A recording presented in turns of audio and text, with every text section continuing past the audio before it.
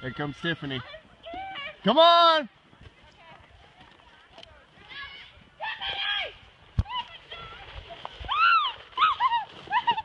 oh my gosh!